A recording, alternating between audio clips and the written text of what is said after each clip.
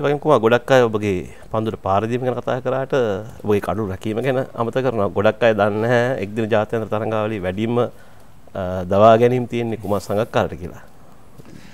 ඕ මං හිතන්නේ එක යම් අතකින් මයිදන්නේ කලු රකින්න කැටියට තමන් ගැන වැඩිය කතා නොකරන එක ඇත්තරම හොඳ එකෙන් තමන් යම් කිසින්නට හොඳර කරලා තියෙනවා. මොකද හොඟක් කලට පන්දු රකින්නෙක් හැටියට තමන්ගේ අතින් ගිලිහුණ දේවල් ගැන තම වැඩියෙන් අවධානයම වෙන්න මට මතක ඇද දස්තුනේ ලෝක කුසලානේ සෙමිෆයිනල්ලගේ මට ඇන්ඩු සයිමස්ගේ ස්ටම්පිං එක මිස්සුන සමල්ලට අපි කොහොමත් ඔන් දෙසිය දහතුනයි ලබාගත්තේ ලකුණ අපේ ජාග්‍රහණ කරන ලේසියෙන් තිබ නමුත් ඉරට ඉතාමත් අඩු ලකුණු ප්‍රමාණකට අපි හොඳවාගෙන අපිට අවසන්තරගෙන යන්න අවස්ථාවක් ගිලිහුණාද කියලා මගේ හිතේ වැඩ කරනවා තාම. නමුත් මහිතන මට හොඳ ආදර්ශයන් හිට අපේ කණ්ඩාමත රමේශ් කළු තරන්න මහිතන් ඉතාමත් විශේෂයෙන් කියන්න ඕනේ. මොකද මං කණ්ඩායමට එද්දි රමේශය තම හිටියේ. ඉතිං ඒ කාලේ මත ඇතිබ්බ රමේශ් රමේශය මයි අතර යම්කිසි හැම්වෙලම් ගැටුමත් තිබ්බයි කියලා. මට මතකයි මම තත් සමුද්‍රගේ එකදස ජාතියන්දර තුවරකට සහභාග වෙල අපි ඒ තමයි නවතැන්ගෙන හිටිය කණ්ඩායමක් හැටියට.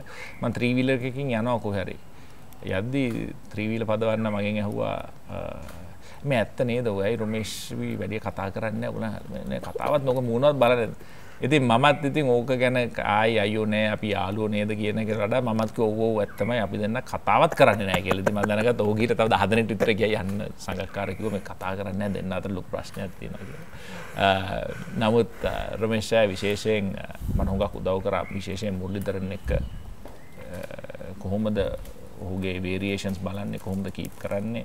මම දැක්ක රොමේෂ් කළු ඉතාරණ පටන්ගත්ත කාලෙද අන්දිමට එක්ද සමසි අනුහැවි ලෝක කුසලාන්නේ ජයග්‍රහණය කරන අතරතුර ඔගේ කඩුරු රැකීම කොත්තර මන්දමට සීදෙන් දියුණුනාද කියලා. මොකද මතාමතක සශින් ටෙන්ඩුකගේ ලෙක් සයිඩ් ස්ටම්පිං එක. ඒ වගේ දේවල් ඉතාමත් විශිෂ්ට අවස්ථා. මොකද එතනින් සමාල්ලයට වෙන්න පුළුවන් සංජාසුරගේ කඩලු වෙන්න පුළුවන් නමුත් ඒ ස්ටම්පිං එකෙන්ද මැච්චක වෙනස් වුනේ කියලත් සමහල්ලට හිතන්න පුළුවමතු ඉතාමත් හොඳට පිතිහරඹේ යෙදිලා හිටිය. ඉතින් මම හිතන්නේ ඔහු ඉතාමත් විශිෂ්ටන්දමට ලාබාල ක්‍රීඩයකට මට සැලකුව. හැම්බලාම ඌට එක ලේසි දැන්නවෙන. මොකද මම ඉන්නේ අන්තිමට මං දියුණු නොත් මම ගන්න රමේශ්ාගේ ස්ථානය. නම කාදාකත වූ එහෙම බැලුවෙනෑ හැබලාම මට පුළුවන් පුළන් අවස්ථාව හැබලාම කතා කර මුරලිගේ දෘෂ්ටක බලන්න කොහොමද කොහොමද කීප කරන කොම කතා කරල මට ලොකු දව කර ප්‍රසන් ජාවත අනිත් එක්කෙන මම දැකල තියෙන දඟ පන්දු යවන්නන්ට කඩු රැකීමේදී ප්‍රමේශ් කළුවිතාරණ ටත් වඩා අභිබවයන්න පුළුවන් කෙනෙකින්නන ඉයන් හිලිටත් වඩා අභිබයන්න පුළම යදම ප්‍රසන්න ජයවදන දඟ පන්දු යවන්නන්ට. ඇති ඔහු පුරුදු පුහුණු වෙන අන්දමත් බලලමං හුඟ අධ්‍යවල ඉගෙන ගත්තා.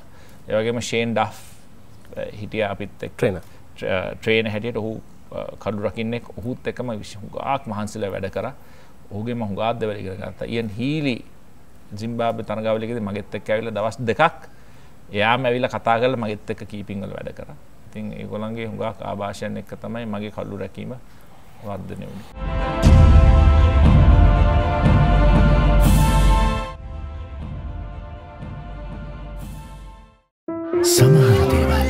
අපේ ජීවිතයට රස්සවත් ආරම්භයක් ලබාදේ. හිත මිතුරෙකුසේ ළඟරැඳේ. දියුණුවේ කොටස්කරුවෙකු වෙයි. මහපාරෙත් සිත පිනයි. මහමුහුදෙත් තනිරකී. ලෙඩකදි දුකකදී ආදරයෙන් රැකබලාගනී. ජීවිත කාලය පුරාම අපිත් එක්ක රැඳී සිටිමින් සැබෑ සෙනහස කිසිතා වෙනස් නොවන බව හැමෝටම කියාදෙයි. මංචි සුප ක්‍රීම් ක්‍රැක සුබ කියන්නේ නිකං නෙවෙයි.